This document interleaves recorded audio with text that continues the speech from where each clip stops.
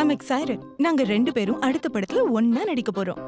ஆமா நம்ம ரெண்டு பேரையும் பார்த்து ஆடியன்ஸ் டபுள் என்ஜாய் பண்ண போறாங்க. Snapdeal Deepavali bumper சேல்ல buy one get one free மாதிரி டபுள் சந்தோஷம் கிடைக்கும்.